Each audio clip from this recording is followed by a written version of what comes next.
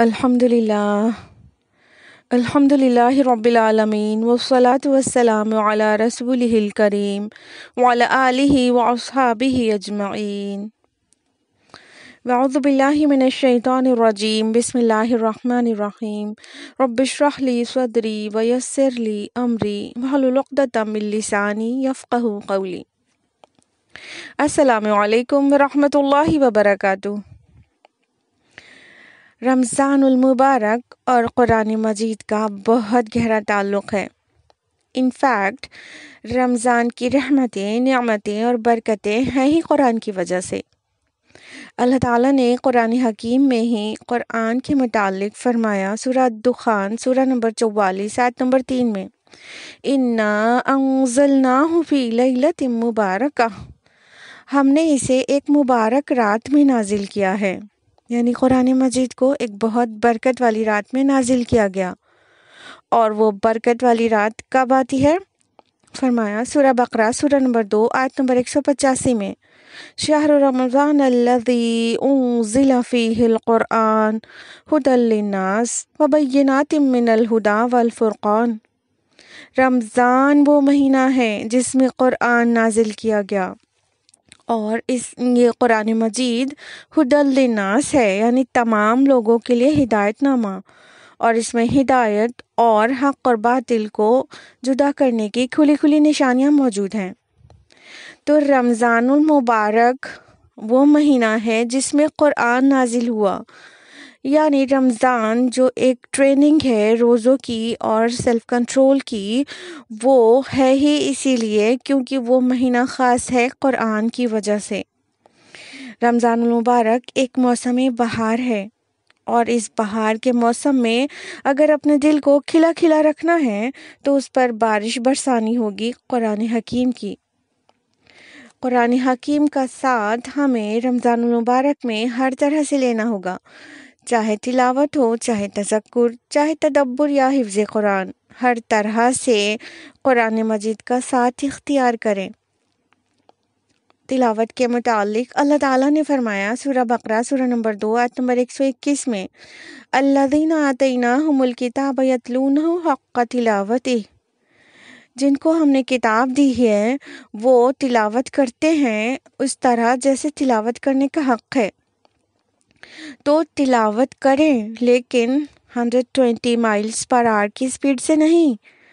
यानी ख़त्म कुरान की होड़ में नहीं, बल्कि तिलावत के हकूक़ की अदायगी के साथ, खुश इल्हानी के साथ तमाम मखारिज और तजवीद के दीगर कवायद को मलहूज रखते हुए, खूबसूरती के साथ, और तजक्र का भी अहतमाम करें। यानी कुरान को समझें। तजक्र बिल कुरान।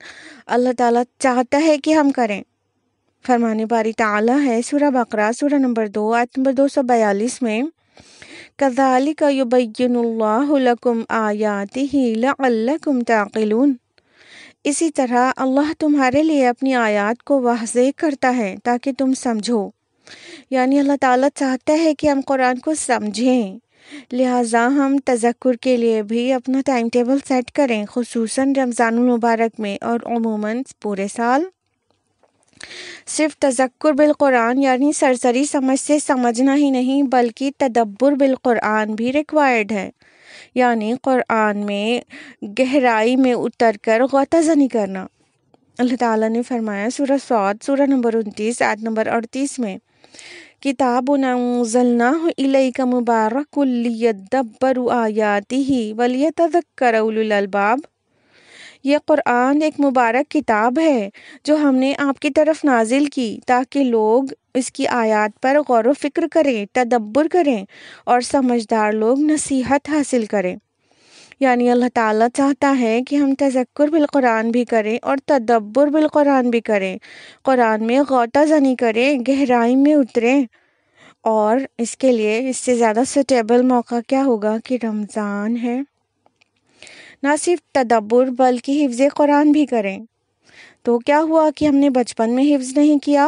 ज़रूरी थोड़ी है कि बच्चा छोटा हो, तभी हिफ्ज़ कुरान करे। नहीं, आप किसी भी उम्र की हैं, लेकिन आप कुरान को थोड़ा थोड़ा हिफ्ज़ करते रहें खसूस रमज़ान में। तो रमज़ान में कुरान को हिफ्स करने के लिए भी अपना शेड्यूल सेट करें कि किस वक्त आपको कितनी आयात याद करनी है। और कुरान के इस ताल्लुक़ को लाइटली नहीं लें। क्योंकि कुरान मजीद, रोज़ आखिरत हमारी शिफात करेगा। अल्लाह के रसूल सल्लल्लाहु अलैहि वसल्लम की हदीस है, जो ट्रांसमिट हुई है मुस्नद अहमद से इंटरनेशनल नंबरिंग के मुताबिक, हदीस number six six two six छः हज़ार छः सौ छब्बीस। अल्लाह के रसूल सल्लल्लाहु अलैहि वसल्लम ने फरमाया अस्याम वल कुरान यशफ़ान लिल अब्द रोज़ा और कुरान बंदे के लिए रोज़ क़ियामत शिफात करेंगे। और आखिर में फरमाया फ़युशफ़ान और उन दोनों की सिफारिश शिफात कबूल की जाएगी। जअलना मिनहुम। अल्लाह ताला उनमें से बनाए जिनकी सिफारिश कुरान और रोज़ा करेंगे इंशाल्लाह वस्सलामु अलैकुम वरहमतुल्लाहि वबरकातुहू।